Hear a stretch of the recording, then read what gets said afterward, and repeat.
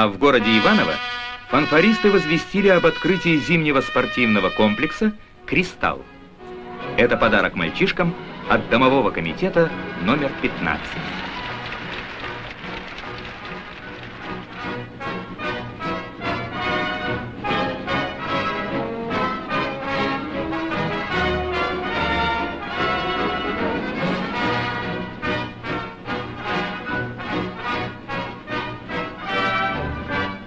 Флаг соревнования поднят.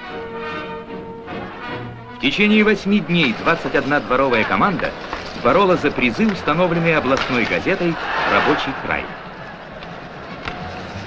Как и у всякого большого соревнования, у турнира есть своя статистика.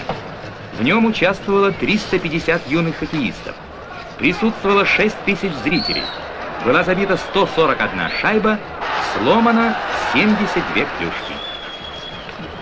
Самой результативной оказалась команда «Ракета», а лучшим защитником признан девятилетний Сережа Буреев, самый юный участник турнира.